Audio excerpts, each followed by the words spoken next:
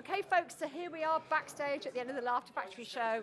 I've had a great time tonight. What about you, Desiree? I had you a fantastic time tonight. You have really, really lovely audiences Oh, here. thank you. Yeah, Thank you. well, it's our 21st anniversary, so we've kind of built up a good following of comedy literature. What's it like to be 21? Finally drinking, so much fun. Uh-huh. I've come of age at last.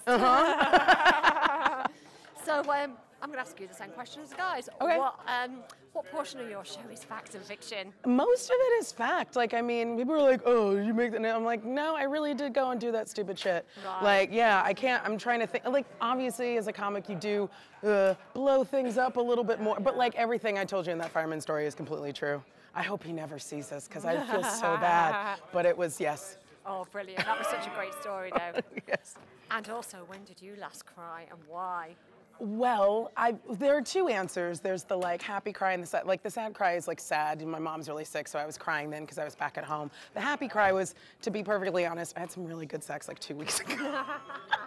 and like the, Oh, the crying great- one. That's, that- that's a great cry. reason. That's a great cry, yeah. I normally can't, but it was. Oh, okay. Oh, fantastic. Yeah. Just us girls, so I'm Yeah, just gonna yeah, and, and the world.